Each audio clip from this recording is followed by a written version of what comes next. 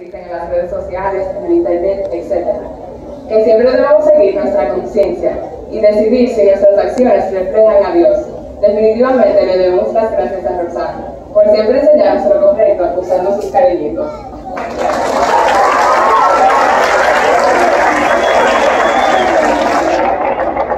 Now I would like to introduce our Washington DC guy, a teacher that is not only passionate about history, but also shows us how technology will be a part of our future.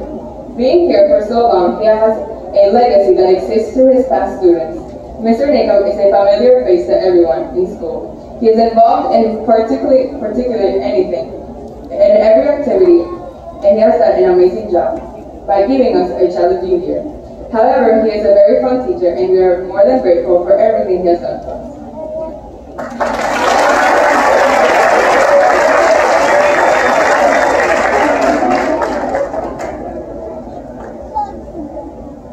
Esta profesora nos ha, nos ha enseñado a través